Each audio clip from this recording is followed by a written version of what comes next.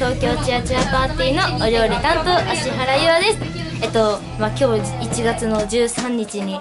新成人を迎えたんですけれどもなんかもうやってって言われてやった感満載じゃん。はい。えっと迎えたんですけれどもあのまあ今までは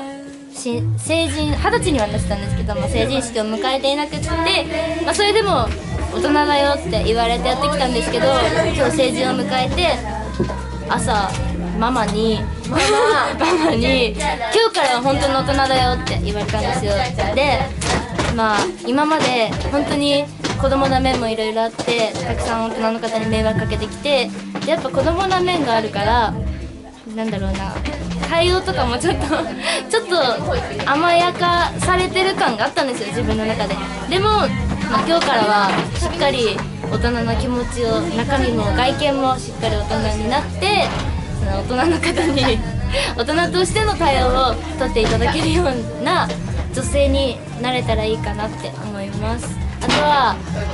物事を焦ってしまうことがあるのでそういう面でも冷静にいろいろ考えられて考えて行動ができるようになればいいかなって思います。